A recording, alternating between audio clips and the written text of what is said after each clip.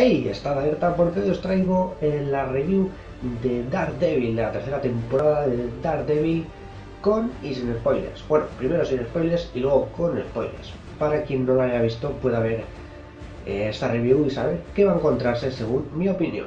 Y voy a ser directo, os lo voy a decir ya, esta tercera temporada de Daredevil es espectacular, es impresionante, es una maravilla de serie continúa siendo después de, las dos primeras temporadas que también fueron absolutamente eh, es que es otro nivel es otro nivel de serie es que es otro nivel o sea es que no me salen palabras para decir lo que me parece Daredevil y, y por eso es una de mis series favoritas la serie empieza con eh, un Matt Murdock destrozado apabullado hecho pedazos eh, todos los sinónimos que se os para decir que está hecho mierda, ¿vale? Empieza así por porque eh, empieza donde acaba la serie de Defenders.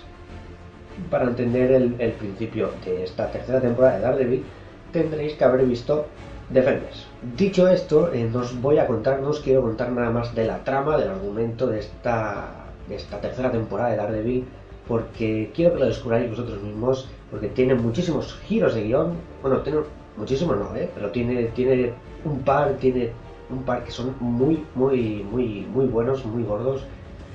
Eh, y son realmente momentazos, ¿no? Que vienen directamente porque es otra cosa que os quiero decir.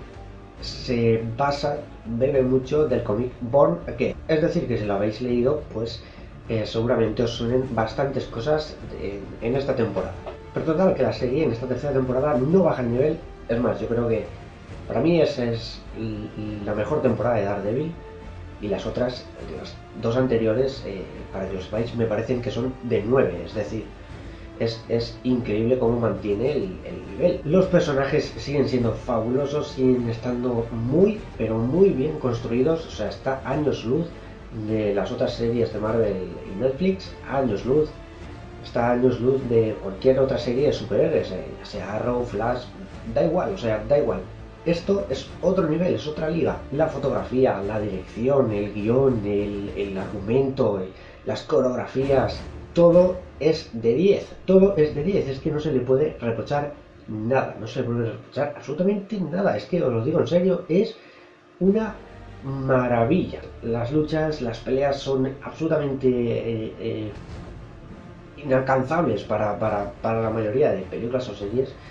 y bueno, si, habéis seguido la serie durante estas dos temporadas, sabéis que suelen tener un capítulo donde hay una escena que, es, la, hostia, es la hostia, ¿vale? En la primera teníamos, por ejemplo, el pasillo este con, con Daredevil, ¿no? A principios, eh, luchando contra, contra unos maleantes, ¿no? Que habían secuestrado a, una niña o un niño. Impresionante, eh, muy dura, muy, muy cruda. En la segunda teníamos a ese, también por un pasillo a Daredevil y la escena, bueno, la escena del pasillo y escaleras, ¿no? Si habéis visto la serie sabéis de lo que estoy hablando.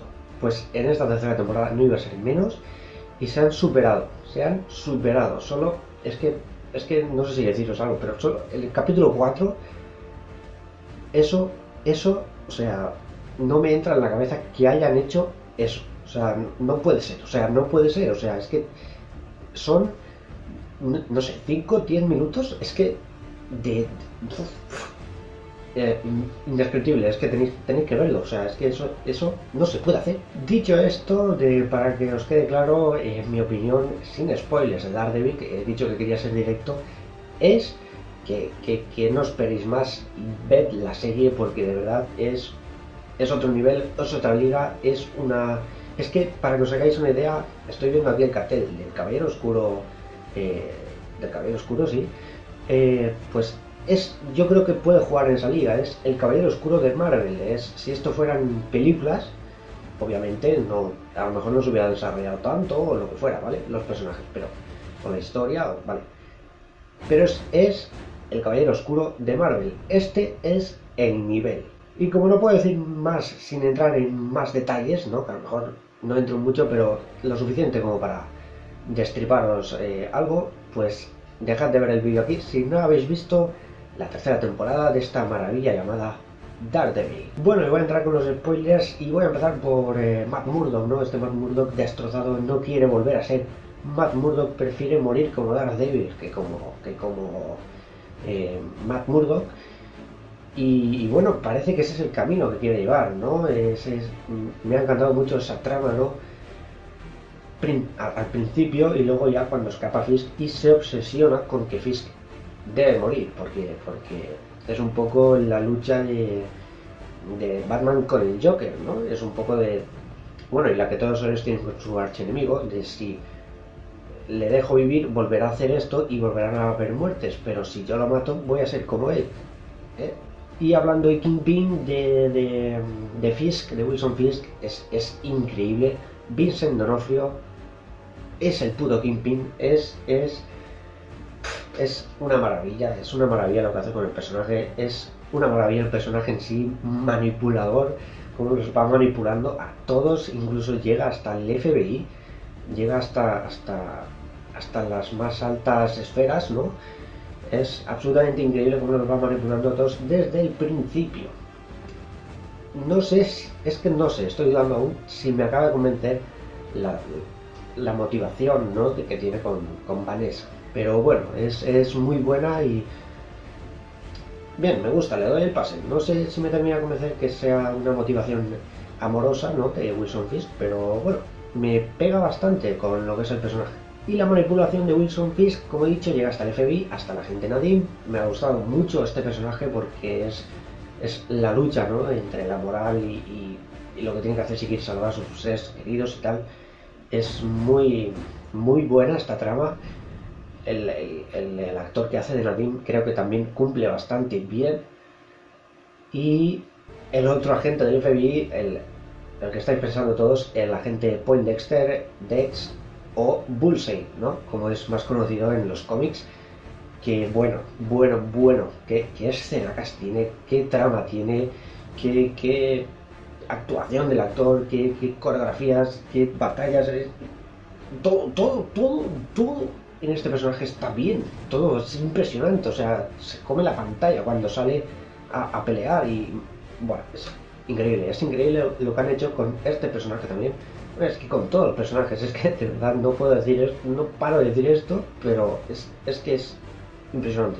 Karen Page y Foggy creía que iban a tener bastante menos peso del que tienen finalmente. Tienen muchísimo peso. Incluso Karen tiene un capítulo para ella sola y para sus orígenes. Y bueno, qué decir, eh, son eh, realmente importantes para la trama y, y, no sé, no son los típicos personajes que a lo mejor en otras series serían prescindibles, pero aquí los hacen encajar de maravilla.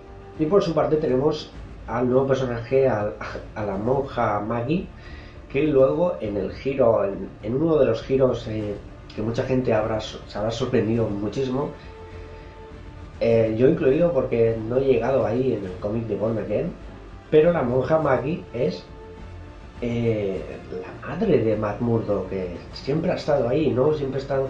Y es muy interesante ver a, a Matt Murdock y a la monja interactuar, ¿no? Ya cuando, cuando saben que... Bueno, cuando sabe Murdock que es que es su madre, ¿no? Es muy, muy interesante y está muy, muy bien contado. Eh, ¿Qué más? La trama, la trama es fantástica, ¿no? Como digo, ya la obsesión de, de Daredevil por acabar con Wilson Fisk de una, de una vez. Por todas, Wilson Fisk manipulando a diestro y siniestro. Y, y quiero, quiero eh, recordar, eh, para mí, mis escenas favoritas obviamente son las de, son las de, son las de pelea, ¿no? Son las de, las de lucha, porque es que son realmente memorables, todos memorables esta serie, ya lo he dicho, pero me quedo con, obviamente, la escena de la prisión, de esos 10 minutos de, de, locura, de locura que, que, lo estás viendo y te estás quedando como... es increíble, es increíble que hayan hecho esto, de hecho, he leído declaraciones del director del capítulo, eh, no recuerdo su nombre, pero fueron como eso, ese tiempo, ¿no? De 10 minutos, 15, no lo sé, grabando seguido. Y cuando acabaron de grabarlo, que es cuando se sube al taxi, lo hice cuando se subió al taxi, yo dije cut. Eh, no se lo creyeron, o sea, no se creían que habían hecho esto, empezaron a gritar, empezaron a... porque es que es realmente es una locura de, escena.